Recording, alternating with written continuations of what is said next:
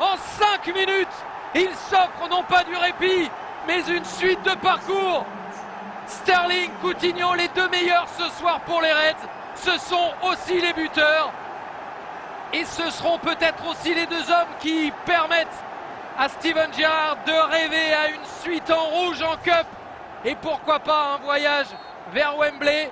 Les huitièmes de finale se rapprochent en tout cas. Sterling s'est tout juste un peu détourné par Trotter. Liverpool mène 2-1. Liverpool en supériorité numérique. C'est presque terminé maintenant. Ça sent bon les huitièmes pour l'équipe de Brendan Rodgers. Le troisième but de la saison.